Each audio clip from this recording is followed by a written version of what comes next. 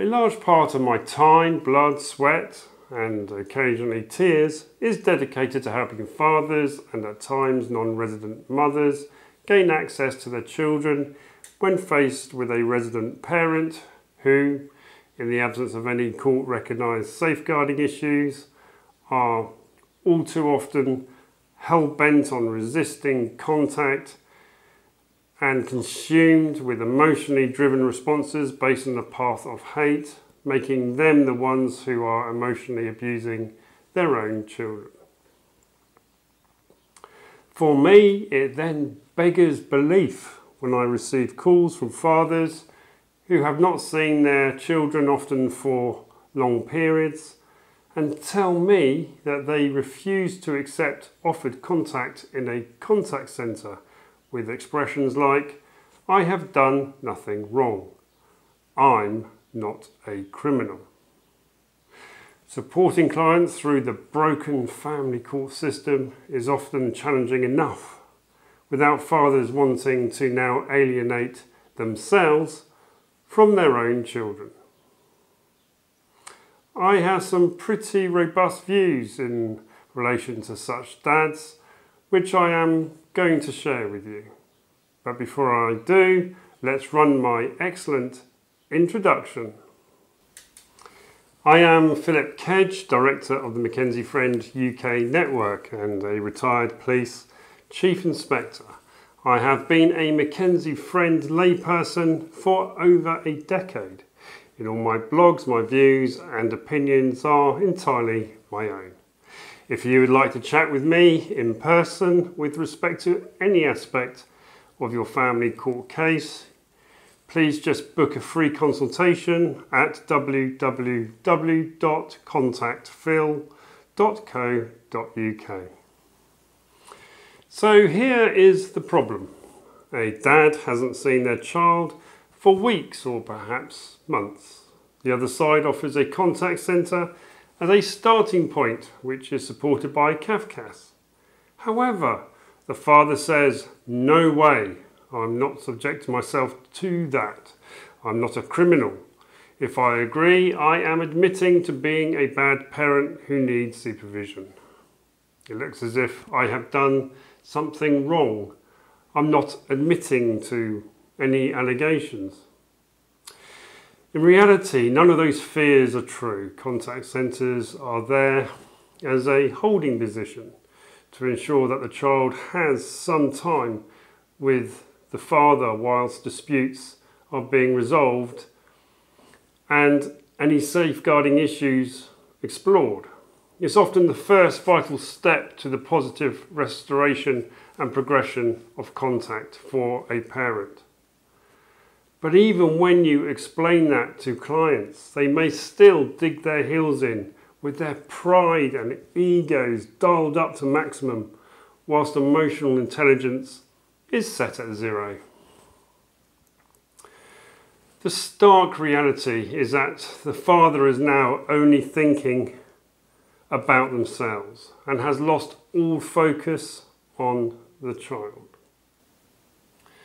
The child has not seen their father, who they absolutely love. The divorce is acrimonious, allegations are flying around. The child is watching the parents go to war.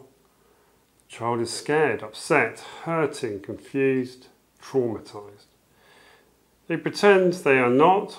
The mother packs them off to school with demonizing comments about their dad ringing in their ears being, being told to be a brave little soldier. All that child wants, all that child needs, all that child is desperate for is to run into the arms of dad and to tell dad that they love him and to be told that they are loved back. But oh no, instead the father wants to fight the mother, wants to fight the system, wants to stand up for the non existent father's rights. They are happy to be the martyr, to sacrifice their contact, to send their selfish, self centered, egotistical message to the court of, I'm a good father. How dare you put me in a contact centre? look at me, I'm taking a stand. So what are Cafcass and the courts actually thinking? Well, that's very easy to understand. They are turning directly to the child welfare checklist, which asks whether the father can meet the emotional, emotional needs of the child, to which the answer is clearly not. The father has absolutely no comprehension whatsoever of the child's emotional needs. He is currently devoid of the emotional intelligence it takes to see things from the child's perspective and to put the child first.